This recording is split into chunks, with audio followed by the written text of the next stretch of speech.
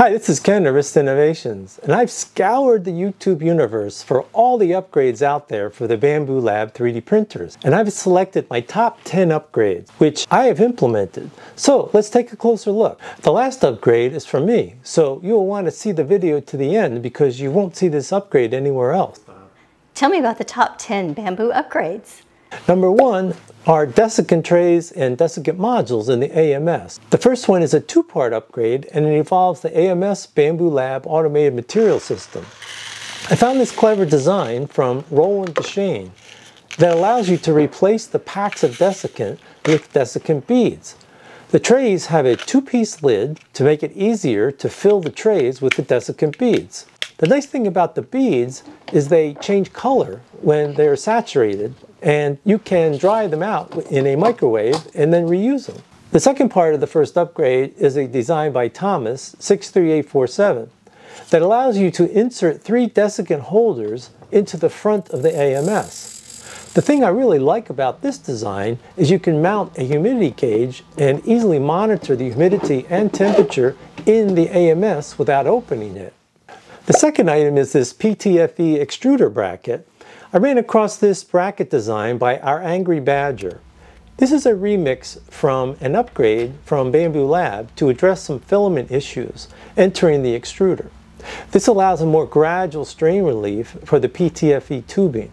When it's installed correctly, it should swivel on top of the extruder head. Number three I call Let There Be Light. This next upgrade addresses how hard it is to see inside the printer when you're making parts. Although the camera is nice to watch prints, sometimes I just want to look through the door. It's really hard to see through the tinted glass, and there's only one small LED strip, so it's quite dark inside. This upgrade from Jacardi involves printing a riser frame and a TPU gasket, and then installing an LED strip. They angled the LEDs in a 60 degrees down so the LEDs shine down onto the build plate. They also added a light shield as part of the TPU gasket. So you aren't staring into the LEDs when you're looking through the top of the glass panel. This does require some soldering because I cut the LED strips into four pieces, one for each side, because it was too difficult to fold the LED strip around the corners. This particular LED has a remote control which really works great. It has its own power supply, which was what I was looking for. There are some designs that connect directly to the Bambu Lab electronics, but I didn't want to complicate my life in case something went wrong with my installation and I damaged my printer. Here I am installing the LED frame assembly on top of the Bambu Lab X1C. Next, I add the TPU shield, which I printed in four pieces. Then it's just a matter of adding the glass top back. This LED assembly comes with a remote control and you can set the LEDs to 100%, 50%, or 25% power. And this makes a huge difference in being able to see inside the printer. Number four is this simple scraper that can be used for any printer to remove parts and calibration strips from the build plate. Item five is this poop bucket. There are many designs out there for poop buckets to capture the filament waste that's generated during the Bambu Lab printing process. Every time the printer starts a print, it purges the filament, as well as every time a color change is made on a multicolor print. So the printer creates a lot of waste. What I like about this design from Cleberlop is that it's large, so it holds a lot of waste filament, and it wraps around the side of the printer, so it's easy to see from the front if it's getting full. Number six is this Y-splitter for external spools. If you have the AMS, not all filaments can fit into the AMS. Bambu Lab doesn't recommend to put TPU filament into the AMS because it's so flexible. Also, they don't recommend cardboard spools, and some other filament manufacturers' spools don't even fit into the AMS. This Y-splitter design by Ed Johnson is a clever design that allows you to feed filament from an external spool without having to disconnect the tubing from the AMS. I also like that he uses pneumatic connectors for the Teflon tubing. I added my small improvement of my own design to allow the filament to move more smoothly through the Y-splitter. I made a detailed video on that and the link is in the description below. Number seven is this cereal box dry box. This cool design by Build It Make It at builditmakeit.com uses a cereal box to make a dry box for an external filament spool. My friend made some changes by separating the desiccant box from the rollers and he added a screw to keep the lid on the box. I have more details regarding this build in the same video that has the Y-splitter design. Number 8 is this Bambu AMS disconnect tool. You probably have seen versions of this design before, but this is a great design from Jody to address what I believe to be a small design flaw by Bambu Lab. This tool has two purposes. First, the tool works great to disconnect the tubing from the back of the printer. It also has a second function to depress the latch to the cable connector so that it can be unplugged. I've never seen a design of a polarized connector where you couldn't just use your fingers to disconnect it. So I feel this is a small design flaw by Bambu Lab. Number nine is this filament spool rewinder. As I mentioned before, not all filaments from other manufacturers fit inside the AMS. You really have two paths to solve this. Number one, modify the AMS.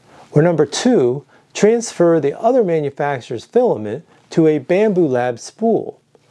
There's a great design for modifying the AMS to hold smaller spools of filaments, and it's called the Hydra Enhanced Bambu Lab AMS by HumeBeam. My only concern with this is that it involves some major modifications and reassembly of the AMS. Also, there was some controversy on whether this change would void Bambu Lab's warranty. For these reasons, I went down the second path. This spool rewinder is a perfect example that three heads are better than one. The original spool rewinder is by Miklos Kazesli, and I think he came up with an ingenious design. He posted this on printables, and there are quite a few parts to print and assemble. Then, Bird2Brain designed a way to motorize the rewinder so you didn't have to manually crank it or use a portable drill to rewind the filament. After that, Diplamator made even more improvements and turned it into a very reliable system. Here are the upgrades that Diplomator made to improve the design. Number one, on the main body at the lower shaft, they added a third bearing and made the lower axle shaft into one piece, which really improved the reliability. The original design of the shaft was in two pieces, and at least for my prints, the fit was loose and the shaft bowed, which didn't allow the teeth to mesh together on a consistent basis. They also added another bearing to the middle shaft, which helped the middle gear to rotate more precisely. They improved the filament carriage sled by adding a bearing and added guides for the filament carriage. They also added threaded inserts for the filament holder, which makes it much easier to adjust with your hand. They also added covers with the threaded inserts to the top of the spool holder, which keeps the spool from hopping out of the main body. They also added some bearings to the spool holder to make it spin more freely.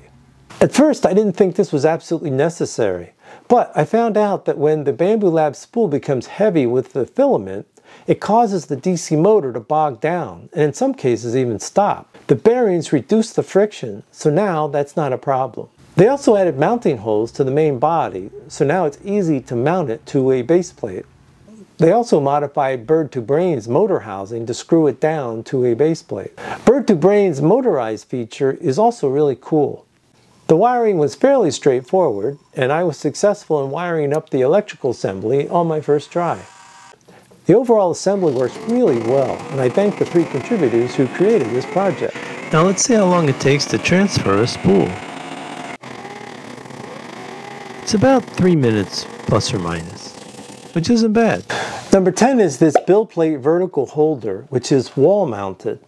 This build plate storage rack is my design that was loosely inspired by this design by Alvin Pan. I wanted to store my various build plates, but I wanted them to hang on a wall so they wouldn't take up precious space on my workbench. I have this French cleat system for various tools, so I designed this rack to hold five of my build plates. It can even hold the replacement sheets for the cool plate. It easily removes from the French cleat, and if my printer was farther away, I could bring the rack to the printer, and it stands upright and also on its side. You could also just screw this into the wall if you wanted to. If you wanted to mount it to French cleats, Chris from A Glimpse Inside sells French cleat strips and his link is in the description below.